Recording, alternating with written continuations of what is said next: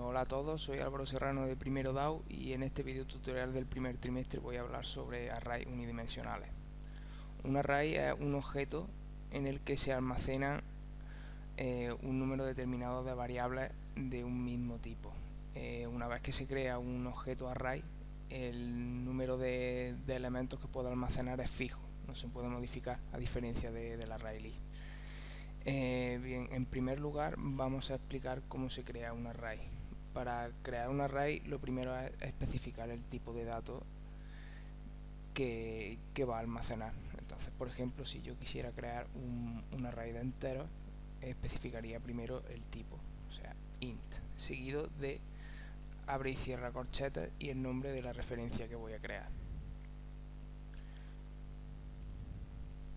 También podría crearse de la siguiente forma, eh, poniendo los corchetes al final, pero la forma legal de hacerlo es la que he hecho al principio. Igual que he hecho una array de enteros, podría hacer una array de float,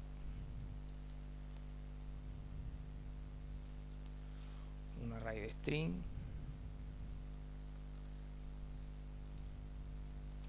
y así con todos los tipos de datos primitivos.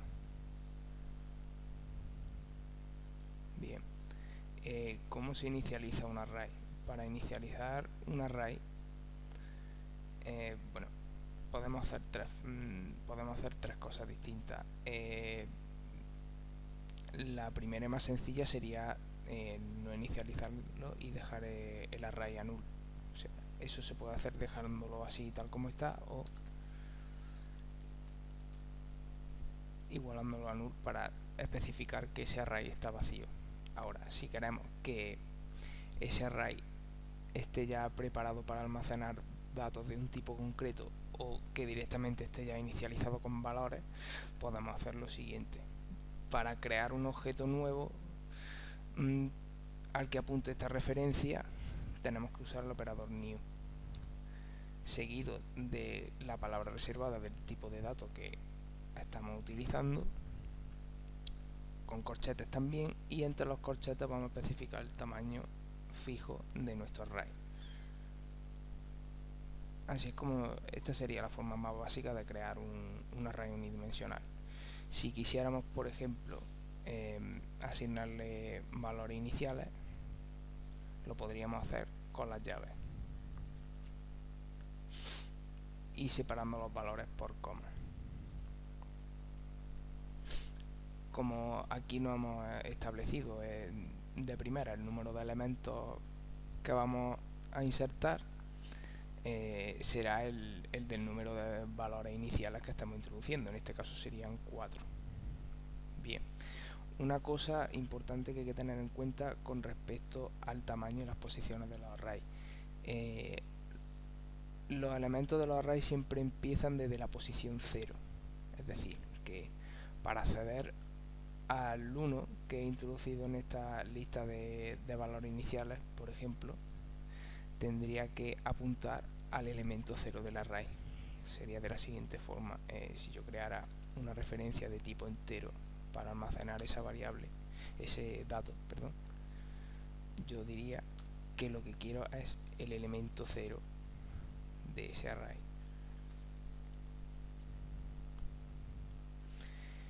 Eh, para saber la longitud de, un array usamos eh, la propiedad length.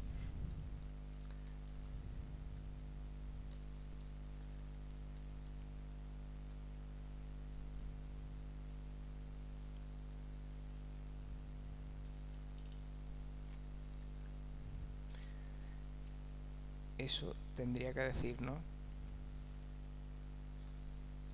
la longitud que tiene ese array.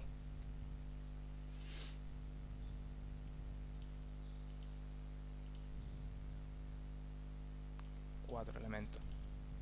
Si yo, por ejemplo, quisiera acceder a una posición que no existe, es decir, si el array tiene tamaño 4, teniendo en cuenta que las posiciones son entonces 0, 1, 2 y 3, si yo quisiera acceder al elemento 4 del array que no existe pasaría lo siguiente. Nos va a aparecer una excepción de tipo array index of es decir que estamos intentando hacer, acceder a una posición mm, del array que no existe. Porque si el array es de tamaño 4 y las posiciones siempre empiezan por el 0 la última posición va a ser siempre el 3 es decir que siempre para querer acceder a la última posición de un array se suele usar la, expresión length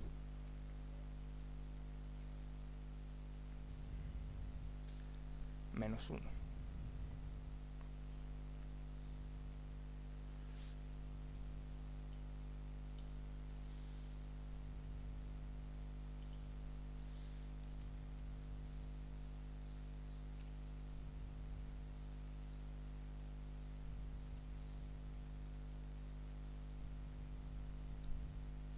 eso debería mostrarnos el 5, es decir, la última posición del array. Ya que, como habéis fijado, para acceder a cualquier posición de un array habría que simplemente escribir el nombre de la referencia y entre los corchetes especificar la posición a la que queremos acceder la 0, a la última LED menos 1, a, cualquiera. Vale. Bien, ahora, em, ¿cómo se recorre y se, y se modifica un array? Eh, lo más habitual es usar el bucle for. También se puede usar el, el, bucle do while o el bucle, el bucle while, pero lo más habitual es usar el for clásico. Entonces, por ejemplo, en este, en este código de ejemplo sobre, sobre array que hay en, en la ayuda de Oracle. Tenemos un, un array de entero de 10 elementos que ha sido creado y después ha sido inicializado, no tiene por qué hacerse solo en la misma línea, y después se le ha ido añadiendo eh, valores de forma, de forma individual. Se va accediendo a cada una de las posiciones, una por una, y se le va asignando un valor del tipo de dato del cual hemos creado el array. Se podéis fijar, al ser de tamaño 10, eh, se han ido añadiendo elementos desde la posición 0 hasta la posición 9. Si intentáramos introducir un valor en la posición 10, nos daría el mismo error, saltaría la misma excepción que hemos visto antes. Entonces, en este ejemplo, para recorrer el array, han usado mm, la cuenta de la vieja, por así decirlo, y lo han hecho haciendo un system opening ln de cada uno de los elementos. Bien, pues ahora vamos a hacer la forma resumida, rápida, la más habitual para hacer esto, que es usando un bucle for. Para ahorrarnos todo este código, que es muy repetitivo, podemos hacer lo siguiente. Hacemos un bucle for con una variable contador que iniciamos a, a cero. Especificamos siempre que el bucle eh, va a ir haciendo pasada siempre que el contador sea menor que la longitud del array porque una vez que llegue al valor de al valor exacto de la longitud del array al empezar por el 0 eh, saltaría la, excepción que hemos visto anteriormente, es decir, en cada pasada el contador va a ir sumando 1, va a empezar por el 0 y va a seguir 0, 1, 2, 3, así hasta llegar al 9. Si yo en vez de hacer eh, menor que la longitud de la raíz hiciera menor o igual, estaría dejando que, que ese contador en el bucle for cogiera el valor 10 y entonces ya saltará la excepción. Por eso al recorrer un array siempre la condición del bucle tiene que ser que el contador sea menor que el tamaño. Y vamos incrementando el contador en cada pasada.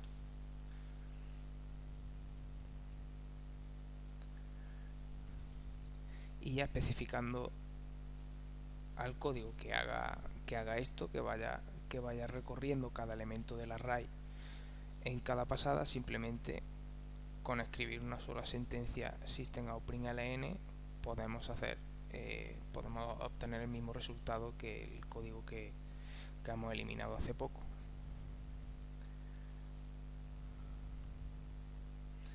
Especificamos la posición es decir array de i por lo cual eh, en cada pasada esta variable va a tener un valor distinto por lo cual el resultado va a ser el mismo que hemos mostrado anteriormente.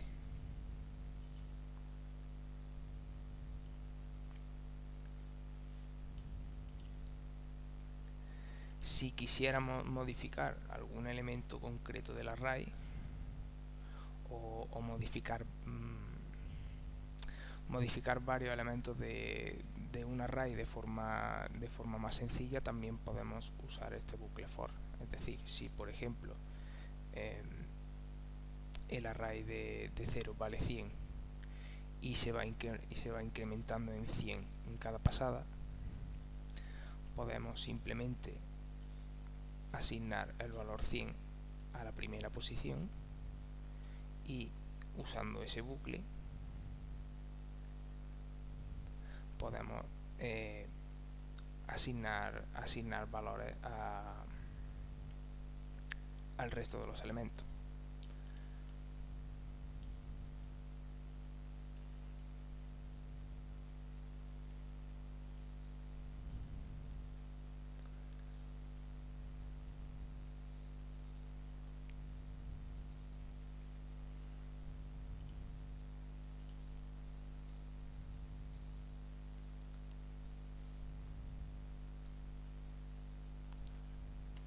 Crearíamos una variable auxiliar en la que vamos a almacenar ese valor porque después en cada pasada lo vamos a ir modificando.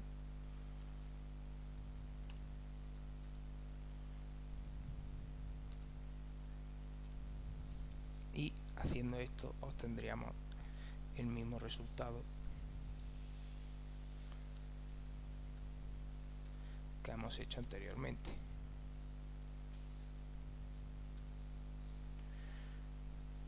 simplificando código de una forma considerable.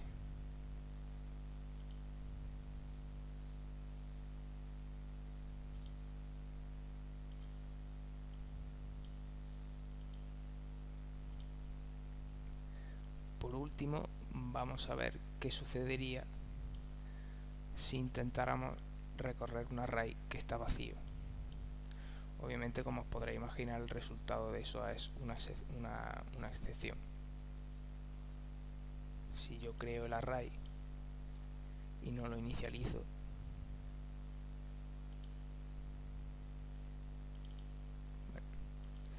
Bueno, no, si, lo inicializo a, a null una vez que lo ejecuto me salta una excepción de tipo null pointer exception y en definitiva eh, este es el funcionamiento básico de, los arrays no, no, tiene más vuelta de hoja. Eh, se trata de eso tener muy clara la, la creación, la, la, inicialización, el tipo de dato que, que se utiliza y, y saber usar eh, saber usar el campo length, tener en cuenta el, tema de las posiciones para que no nos salte una excepción y por supuesto siempre recurrir, a, los bucles para trabajar con, con array ya que es una forma fundamental de, de no repetir código de forma innecesaria. Bueno pues este ha sido el video tutorial del primer trimestre. Espero que os haya gustado y cualquier duda que tengáis, pues me la comentáis. Un saludo.